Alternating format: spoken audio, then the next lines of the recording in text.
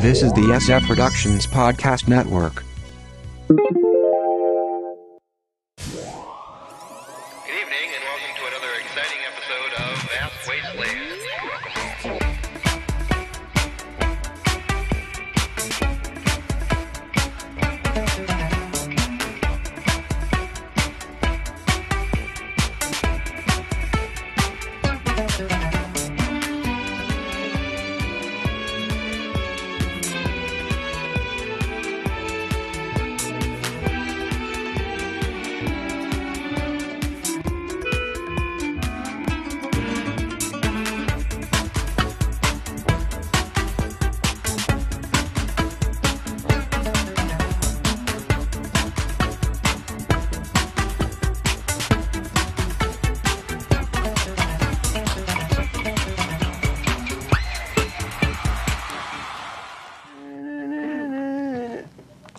Kids doing up here in the attic? Comet it went off. There's nothing to watch.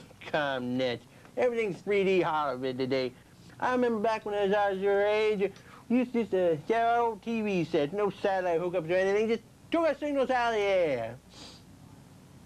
But wasn't that dangerous? Well, that was, of course, uh, before the uh, Surgeon General found a link between uh, TV signals and cancer. That was before your time. Remember some old 2D shows, though? Some were even in black and white. Wow! Of course, that was uh, before President Turner put that enforced colorization law through in the 20s. Those shows must have been really boring. They weren't even interactive. Uh, don't be so sure about that. There were some great shows back then. Oh, wait a minute. Let me look at this. Mm. Ooh, what's that? Oh, it's called a VCR. Uh, see, back before all the video was put directly into computer memory in the ComNet, people used to tape shows. Let me see. Uh, there's, there's a tape already in here. Let me let me hook this up here. Let me see what we got. Uh, oh, ooh, oh, damn radiation. Come back with us to the 60s and 70s, the dwelling place of the lost generation. An era whose heroes, role models, and very lives were molded and formed by weekly installments of favorite television programs. Welcome to the place your parents didn't understand. Welcome to the vast wasteland. Welcome home. Hello,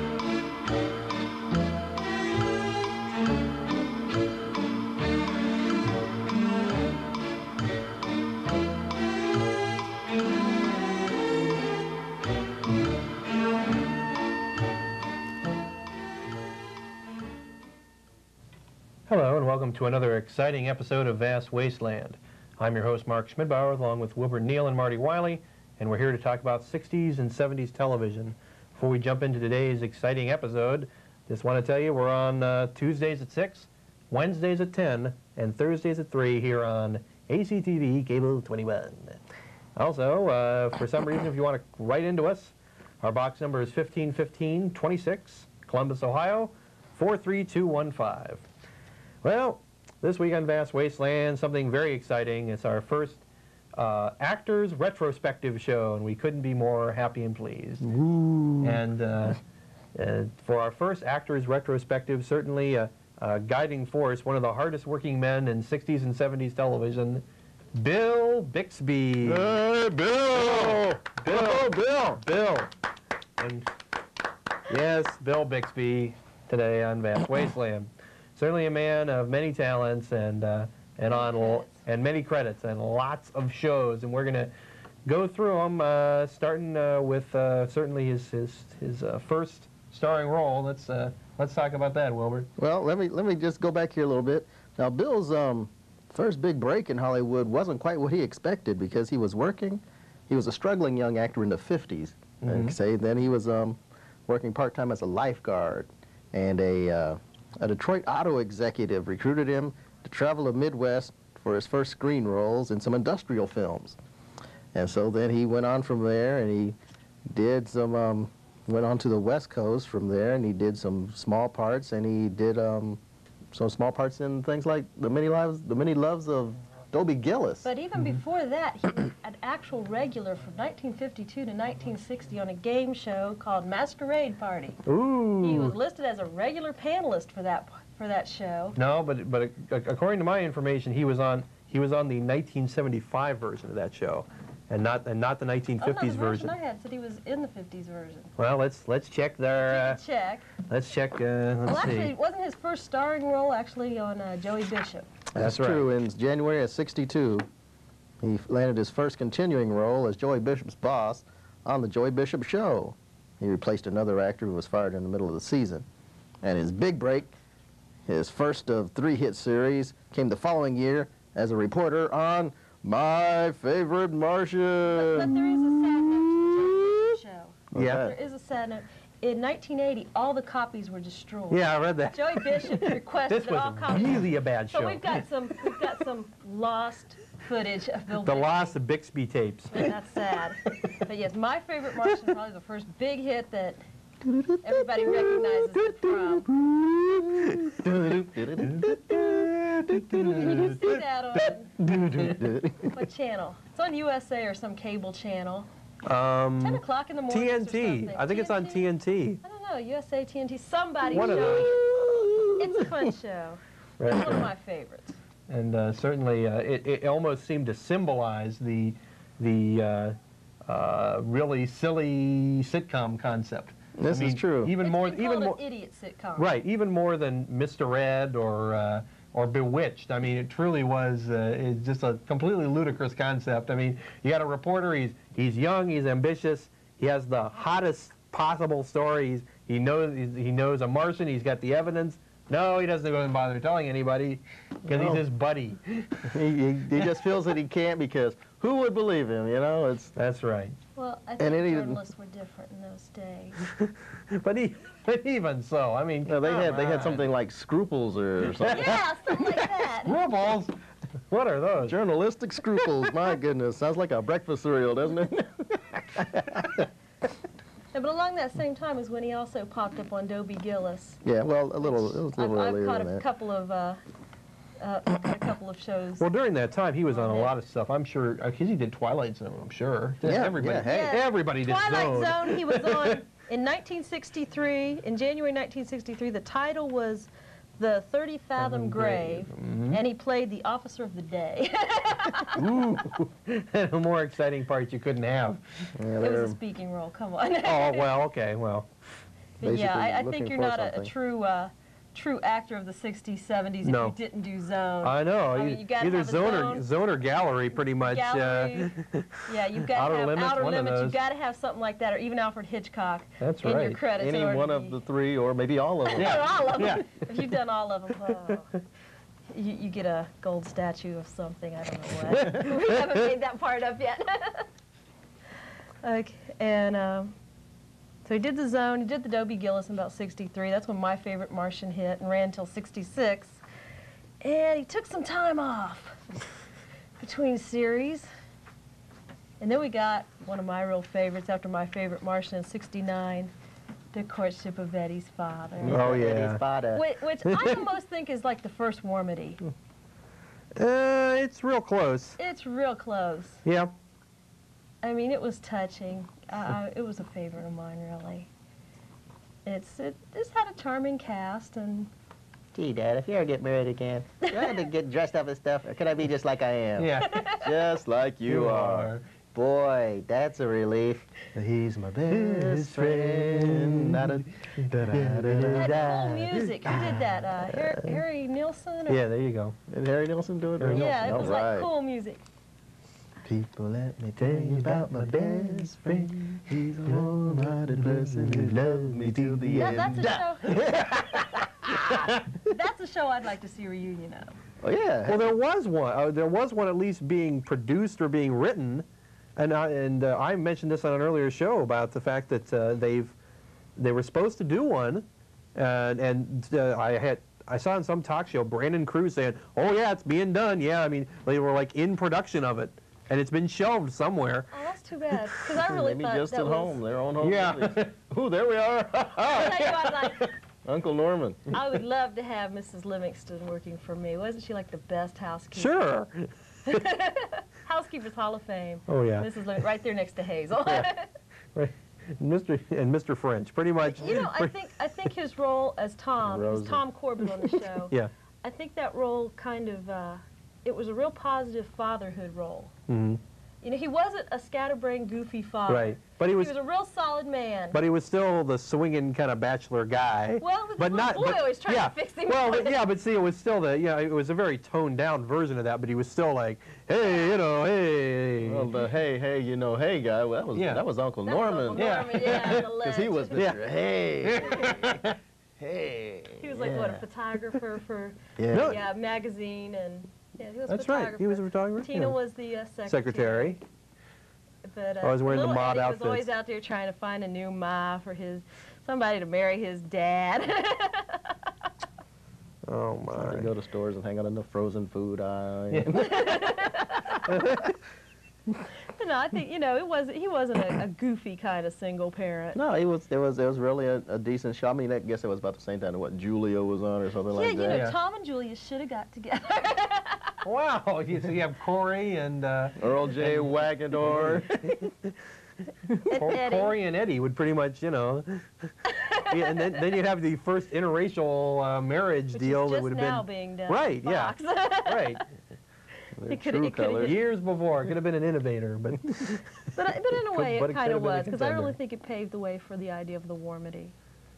Yeah, because the it was happy always like, comedy, ah.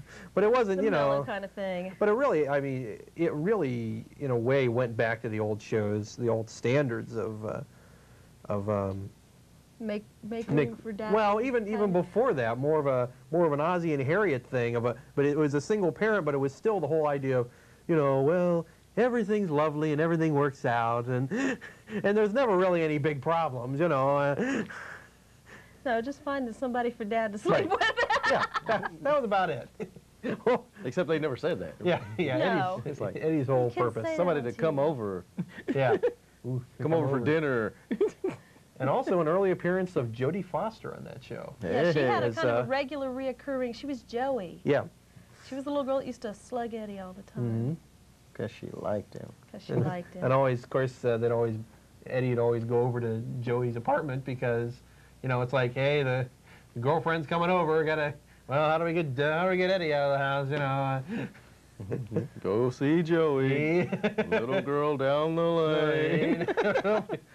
you can come back about an hour. well, you can say it was surely it was surely a step up for Bill from my favorite Martian. Oh, yeah. His father. Oh yeah. It, it was a, a better show. I, I kept I think expecting my to see Uncle Martian. Uncle Martin uh, pop in there somewhere. I always, I was always waiting to see him pop in. You know, just, just kind of pop in.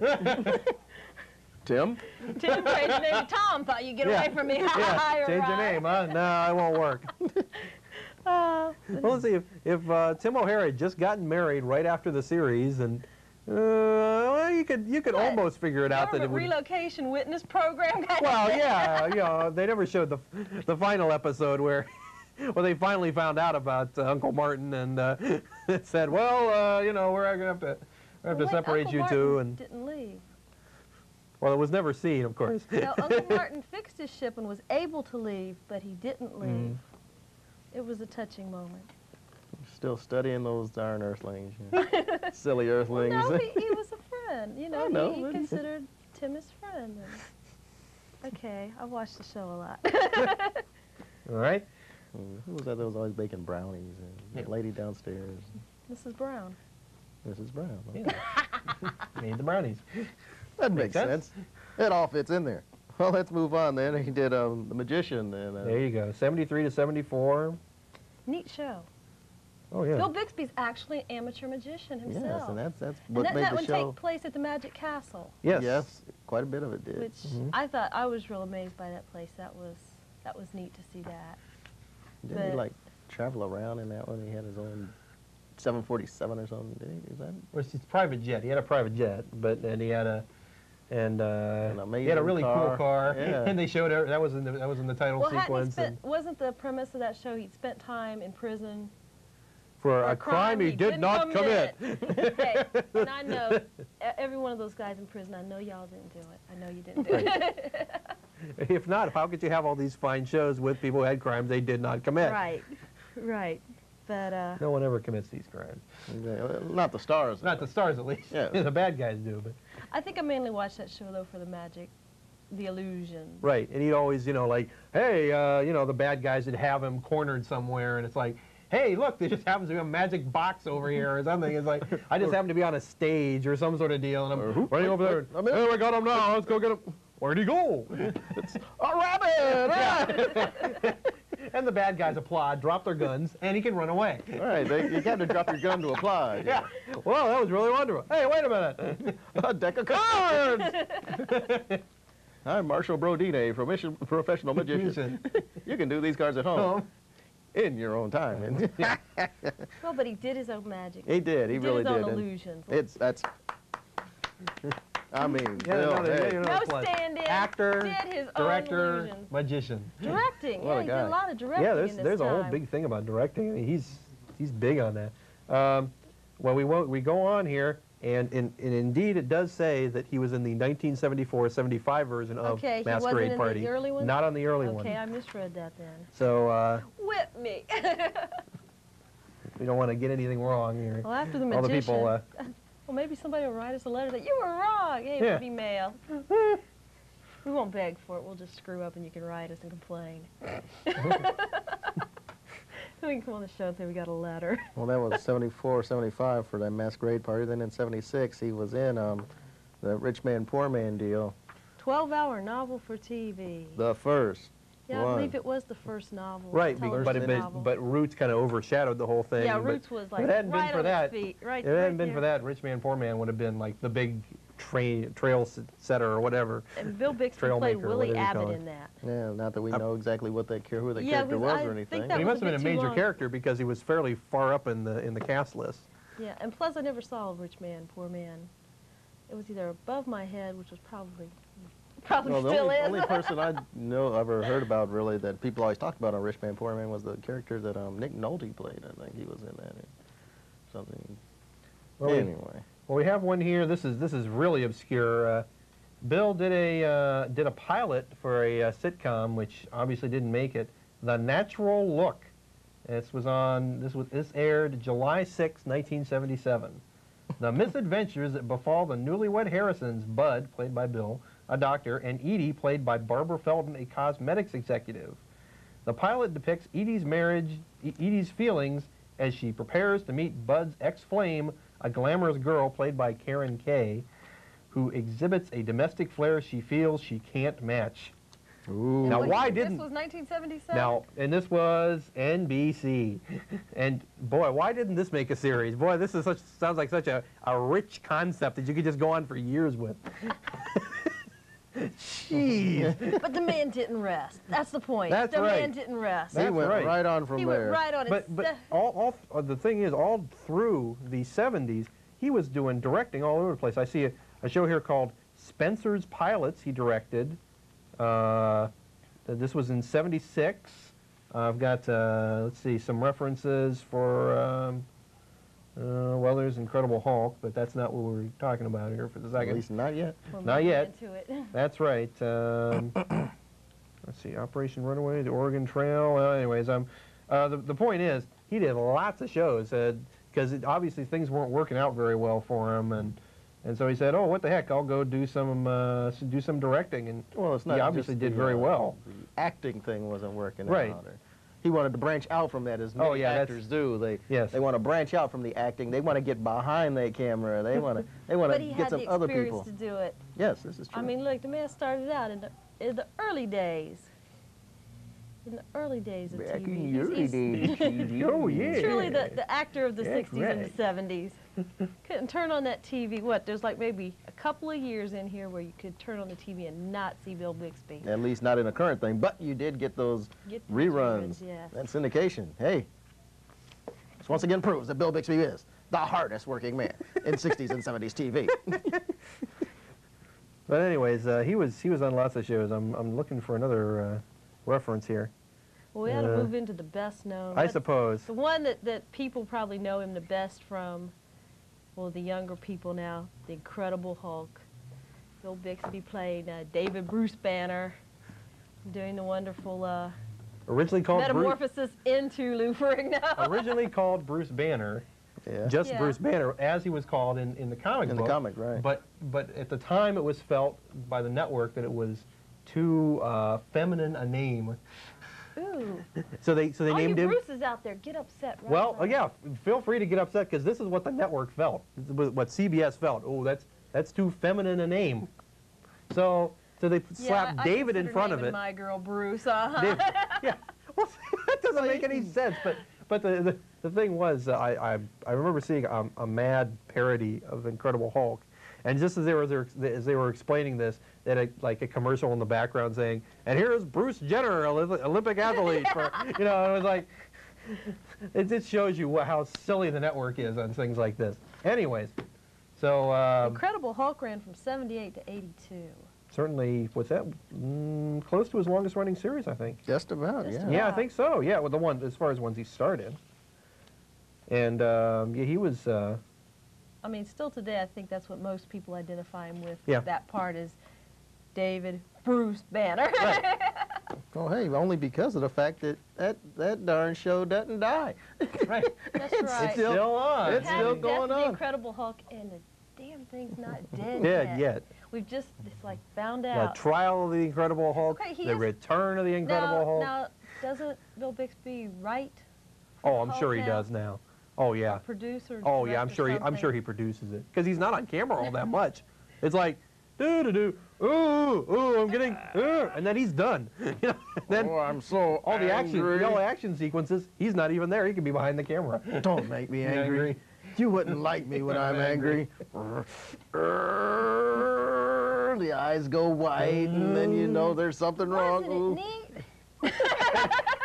He big starts question. busting his seams. Yeah, seams. there's the question: Is how much does this guy spend on clothing? Yikes! That's really? what I always wondered. That's that's something I always wondered. Here, here he is. He's traveling around the country. Yes. Basically, he's living a out of a person. A- like a living out of a drifter roll yeah, bag. he's Yeah. got a duffel bag. with lots of clothing in it. Where's he get the money to buy all the clothes? And And a couple of times you notice he, no matter what, this is, and this is a thing that's also in the comic book, is no matter what David is wearing, in, and when he turns the Incredible Hulk, Hulk- Incredible Hulk is always wearing jeans. Yep. It doesn't matter what, it's just like, it turns him green and it changes his pants into jeans. that's some powerful Straight from polyester Yeah. into jeans. Yeah, no That's- what he- it's all in the jeans, I guess, basically. Well, that's, that point. what- yeah. Incredible. Science is amazing. that's right. That radiation, by golly. But this uh, this show is one of the, uh, unlike a lot of shows like uh, the superhero shows. Number one, he couldn't control what was going on, obviously, and two, it was this very introspective kind of thing, kind of like the stuff we're seeing now on Beauty and the Beast, kind of. Because it had this nice do do do do do this nice piano theme, and it was, you know, it's like the tragic, you know, gothic Yeah. story of this guy who turns into a green Hulk. I always got the feeling of incredible sadness from this show. Mm-hmm. Oh, yeah. Because he could never stop, although he should have, because he was never going to get fixed unless he stopped and stopped at uh, some decent scientific facility and let him and let him work on him for a while and Of hide him out. If he stopped, The reporter find was gonna who he find him. Yeah. Yeah. The reporter, whatever What a his name was. darn reporter, but he Don't went to play the, with gamma He went to the kids. Mariette Hartley Institute a few times Yeah. there, and she she about fixed him up. And then just in time, oh no no no no! And he just just when everything's working out, ooh, that darn Hulk comes out and smashes the machine. So he has to wander around the country again so she can make another Right. machine to help him out. She always found him too, or he always found her one way or the other. It's like, well, I'll go back and give her another try. And sure enough, she's got another machine there. One of those D-gamma machines. Yeah, degammer, the degammer machines, the degammerization. ray. D-gammaras. It seems like the roles he's had have gotten more serious. Well, Like, except except Tim for O'Hara was like a doofus, okay? Well, he was pretty goofy. Well, except for his next show, this this the very short-lived, the Book of Lists. Remember the Book of Lists Yeah, series, uh, the series of books. They and it was just lists and lists and lists and lists, lists Now, all over the place. 1982. Yeah. Yeah. And it and it was so it was like a kind of like I don't know, almost like a candid camera, uh, real people kind of show where it was like, here's another list. Da, da, da, da, and, and and Bill would read a list or or co-host. It was like uh, Steve Allen was a co-host, and you know it was just like, and here's this list. Da, da, da. And it was like a half-hour list, and of course this lasted for a long time, all of like four weeks, I think. Yeah. People said, "Ooh, this is exciting. I'll go buy the book. Thanks." The book was pretty popular. I still have my first copy. I think I do too, somewhere. But uh, this this is just didn't something that to work as a television show. It's worked for David Letterman though, having lists on the show. but the beginning of the top ten lists. Yeah, There's but like- look how look how long it took him to hit back upon that idea to do Mhm. lists, or it took somebody to hit back upon the idea of doing lists. I mean, since it was it was how many years there? We're looking at almost ten years. Right. Well, I can't say really ten, maybe a good six years though. That's right. well, we I wasn't counting. Sorry. Then we move on to um, his uh, his last big role, other than the uh, than uh, the Incredible Hulk stuff, which is still going on. Good Night Beantown, and this was uh, teamed teamed him up again with Mariette Hartley to the By point golly. that everybody was convinced they were married. I think in real life, Yeah. although they weren't, were they? No. They were never were, and yet everybody was convinced they were. But then that Mariette Hartley, I mean, they- they've just linked her up with everybody. James James they? Garner, they James used Garner, uh, The- Leonard the Nimoy. the Star Trek episode. It, that Mariette Hartley, by golly. Good Night Beantown was all right. It was okay. It was on for what? It I was think on it's for a still while. on syndication. somewhere, probably I- Lifetime or somebody picked it up. Someone picked it up for, or at one time they've had it. Mm. Yeah, it just ran originally for like a year, but hey, you know. It was It actually okay. was. It wasn't too bad a show, really. I mean, it was just like they were trying to do kind of a well, it's another news show within a show kind of thing, like like Mary Tyler Moore show, Yeah. where they just uh, uh, it was this uh, guy and he's a respected anchor in Boston, and and this new woman co-anchor moves in, who just happens to move into the same apartment building he moved, he lives in. What a coincidence! It made So- things convenient for them. Yeah. I'm driving across town. and so they yeah and so they and so they had you know it was like the witty banter kind of stuff like cheers which of course was based in the same city i was amazed if, i guess if it had been on the same network it was on cbs i, I suppose eventually they would have had them dropping it on cheers like uh, like Cheers, Cheers went on CBS. that's what i mean if it had been on oh, the same it had until been, okay. like uh, st elsewhere St. dropped in on yeah. cheers because they're all in the same town so um, Well, you can definitely say, though, from 1962 until 1982, 20 solid years of TV. and, sh- and i'm sure they're And have you noticed Bill Bixby still looks kind of the same? I mean, he doesn't really age. Ooh, another one Ooh. of the, I mean, he's, he's mature, but scary. he hasn't the really... Dick Clark school of Hey, I non-aging. think I think Bill's got Dick Clark beat pretty much. Because look, we were seeing Dick Clark the other night, and he's getting that crevice of a part in his hair. well, that's true, yeah. His Bill hair's just Bixby slowly is still creeping a back. sharp-looking guy. But hey, we don't know if Bill's wearing a wig or not.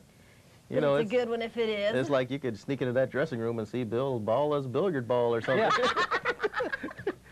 Anyway, if you have There we pictures, go. Stretching in. out, running up Yeah. those, uh, those crow's feet, you know. Uh-huh. the- Well, no, pencil or something? he, he's he hasn't.